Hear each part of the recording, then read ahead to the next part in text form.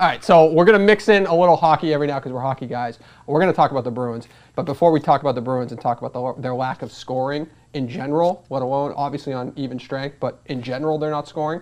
Uh, Wayne Gretzky, his house for sale for $29 million. Did you see this? Is that on Cali? I did see it. I and- saw the pics. and he wants to move to Florida, which uh, uh, I don't know. I, I just figured he lived in Canada. I didn't even know where he lived. But $29 million. Have you ever heard a hockey guy living that lavishly? I know he's the great one, but like literally, that is that is like ultra. That's like David Beckham. And, it, and this is going to sound a little crazy, but I don't like the house. It wasn't a cool house. Yeah. It was that of like, you know, I hate to say a boxer, but like I can picture like Floyd Mayweather living there or something yeah, yeah. crazy.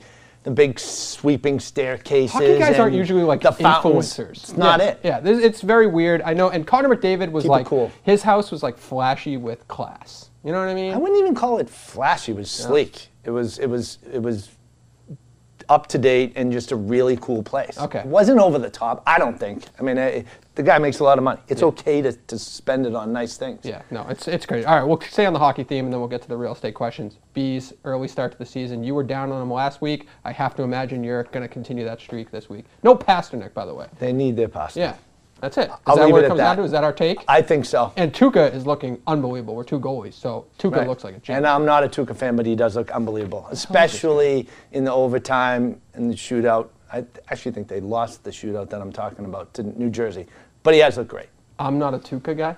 I'm not a Tuukka guy. All right, next uh, we'll go. We'll move on. We'll move on because I'm rattled now.